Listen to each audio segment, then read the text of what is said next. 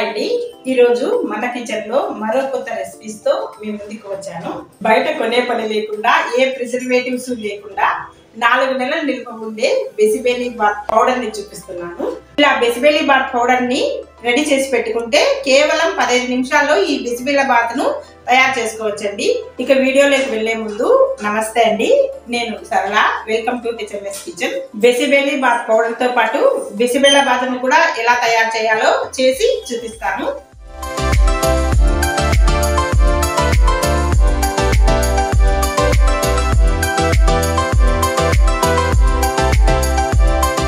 ముందుగా ఒక కప్పు కందిపప్పు ఒక కప్పు బియ్యంని తీసుకొని రెండు కలిపి ఆరు కప్పుల వాటర్ను పోసుకొని ఒక అరగంట సేపు ఖచ్చితంగా నానివ్వాలి. ఇప్పుడు మసాలా కోసం ఒక టీ స్పూన్ ధనియాలను ఒక టీ స్పూన్ జీలకర్ర వేసుకొని మంచి అరోమా వచ్చే వరకు ఫ్రై చేసుకొని ఒక ప్లేట్లోకి తీసుకోండి.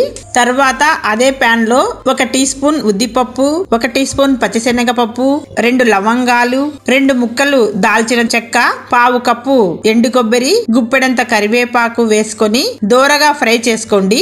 ఈ మసాలాలన్నీ కూడా లో ఫ్లేమ్లో ఫ్రై చేసుకోవాలి. ఇలా దోరగా వేగాక ఒక ప్లేట్ లేక్ తీసుకొని పక్కన పెట్టుకోండి. ఇప్పుడు అదే కడాయిలో అర టీ స్పూన్ ఆయిల్ వేసుకొని అందులోకి ఆరు ఏడు ఎండుమిర్చీలను అలాగే రెండు బిర్యానీ ఆకులను వేసి ఫ్రై చేసుకోండి. ఇలా మిర్చి కలర్ మారుతున్నప్పుడు అదే ప్లేట్లోకి తీసుకొని పక్కన పెట్టుకోండి. వేయించుకున్నాం కదండి ఈ మసాలా దినుసులన్నీ. చల్లారిన తర్వాత ఒక గ్రైండింగ్ జార్ లోకి ట్రాన్స్ఫర్ చేసుకొని రుచికి సరిపడా సాల్ట్ను వేసుకొని మెత్తగా గ్రైండ్ చేసుకోవాలి. ఈ పౌడర్ని మీరు ఎయిట్ ఎయిట్ జార్లో స్టోర్ చేసుకుంటే మీకు ఎప్పుడు కావాలంటే అప్పుడు ఈ పౌడర్ని యూస్ చేసుకోవచ్చు.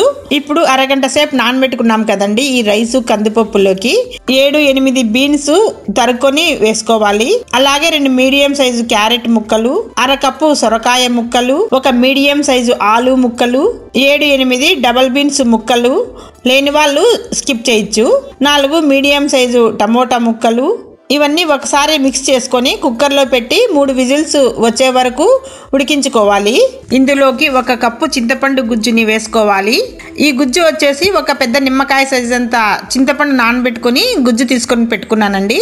అది వేసాను దీంట్లో. ఇందాక మనం తయారు చేసుకున్నాం కదండి ఆ మసాలా పౌడర్ని నాలుగు టీ స్పూన్లు వేసుకున్నాను. ఇంకా స్పైసీగా తినాలనుకునే వాళ్ళు ఇంకా ఒక స్పూన్ ఎక్కువైనా వేసుకోవచ్చు. ఇందులోకి అర టీ స్పూన్ పసుపు. నేను చిన్న సైజు బెల్లం ఉంటను వేసుకున్నాను. ఇది ఆప్షనల్ అండి. అయితే కొంచెం బెల్లం పడితేనే టేస్ట్ కూడా ఉంటుంది అది మన ఇష్టం. ఇవన్నీ కూడా అంతా కలిపేలాగా ఒకసారి మిక్స్ చేసుకోవాలి. ఇప్పుడు దీన్ని లో ఫ్లేమ్లో ఐదు నిమిషాల పాటు ఉడికించుకోవాలండి మూత పెట్టుకొని. చూడండి నీళ్ళు పైకి వస్తూ పర్ఫెక్ట్గా బెషబెల్ల బాతు ఇది ఎంత ఉడికింది? ఇలా ఉడికిందంటే మనకు ఇది ఎంత రెడీ అయిపోయిందని అప్పుడే మనకు తెలుస్తుందండి.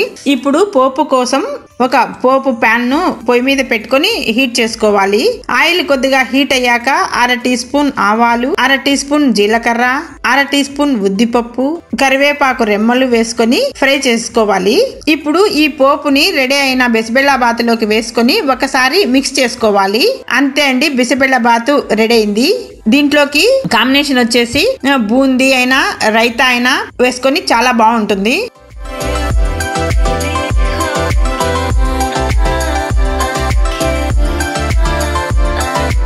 చూసారు కదండి. బెసబెళ్ళ బాత్ ఎలా తయారు చేయాలో మీకు ఈ రెసిపీ నచ్చినట్లయితే లైక్ చేసి మీ ఫ్రెండ్స్ అండ్ ఫ్యామిలీకి షేర్ చేయండి. అలాగే మా ఛానల్ను సబ్స్క్రైబ్ చేసుకొని పక్కనే ఉన్న బెల్ ఐకాన్ను క్లిక్ చేయండి. Thank you.